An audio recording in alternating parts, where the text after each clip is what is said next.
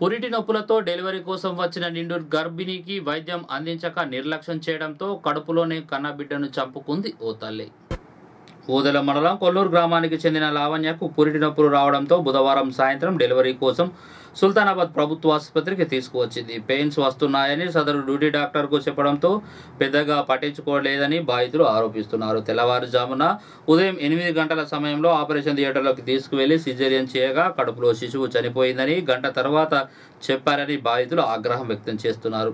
ఆసుపత్రికి వచ్చిన పద్నాలుగు గంటల తర్వాత ఆపరేషన్ చేయడం వారు పట్టించుకోకపోవడం వలనే కడుపులోనే బాబు చనిపోయాడని డిఎంహెచ్ఓకు ఫిర్యాదు చేశారు బాధితులు. నిర్లక్ష్యంగా వ్యవహరించిన సదరు డ్యూటీ డాక్టర్పై చట్టపరమైన చర్యలు తీసుకోవాలని డిమాండ్ చేస్తున్నారు బాధితులు.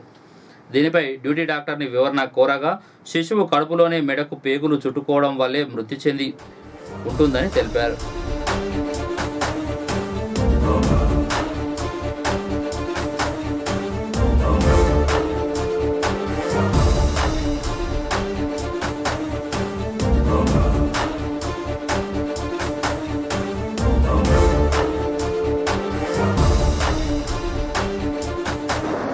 కొంచెం నొప్పులతోనే వచ్చింది ఎన్ని గంటలకు వచ్చింది నిన్న? నిన్న ఆరే ఆరున్నర అయింది. మరి ఎప్పుడు ఆపరేషన్ చేసింది మరి మీకు? ఇప్పుడు పొద్దున. పొద్దున. ఏం జరిగింది మరి? నాకేం చెప్పలేదు ఆ.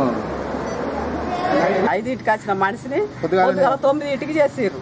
తొమ్మిదింటికి చేస్తా రాత్రి తెల్లని దానికి అవస్థ అయిందట బెడ్ వేయిందట. పాప చనిపోయిందని తొమ్మిదింటికి కడుపులో చనిపోయిందని చెప్తారు. వాళ్ళు సాయంత్రం వచ్చిన వాళ్ళు చేసేదంటే పాప బతుకు. వాళ్ళు పట్టించుకోకనే. సాయంత్రం వచ్చినప్పుడు అవస్థ ఉన్న మనిషిని చేయొద్దా?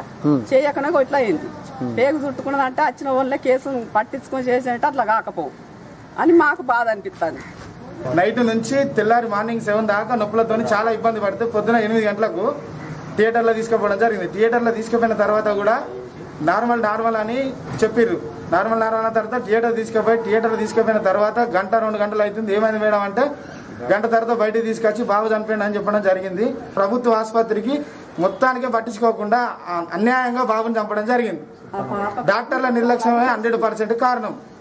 వచ్చేసరికి అదేంటంటే ఆ మెడకు చుట్టుకున్నది ఊరి పీకుస్తుంది బేబీకి. మేడం. ఆ, అది ఊరి పీకేసినట్టు అయిపోయింది బేబీకి. ఇమ్మీడియట్గా బయటకు తీసినాము. వెంటనే అక్కడ మా పిల్లల డాక్టర్ సార్ గారు కూడా బాగా ట్రై చేసిర్రు.